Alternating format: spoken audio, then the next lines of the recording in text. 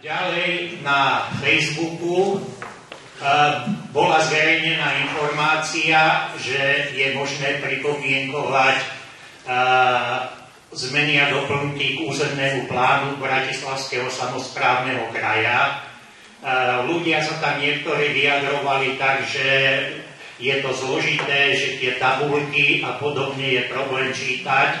Ja by som navrhol, či by mesto nemohlo zamesiť veľmi stručnú správu na web, že je takýto materiál zverejnený, z hľadiska vášho odborného ho popísať pár riadkami, čo je, lebo naozaj detaily ľudia nebudú študovať, ale nech sa skúsia zapojiť do tej agendy a aby vedeli asi, o čom, o čom to tam je, aby nemuseli čítať siahodobé materiály.